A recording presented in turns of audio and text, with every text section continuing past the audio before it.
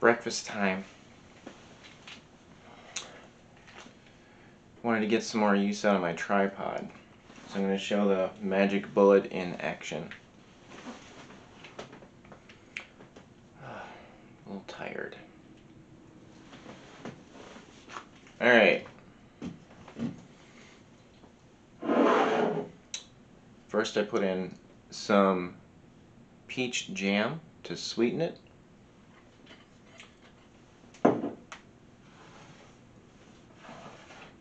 And so this one, this one just has uh, frozen mango that I thawed.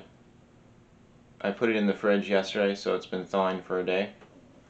So that's got just mango and water and jam.